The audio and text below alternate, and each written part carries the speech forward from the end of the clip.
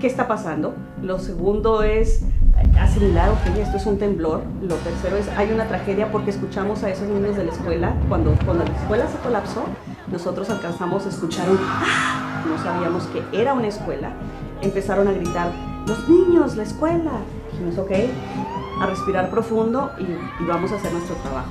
México, tragedia y esperanza. Un año después, este miércoles 19 de septiembre, 4 de la tarde.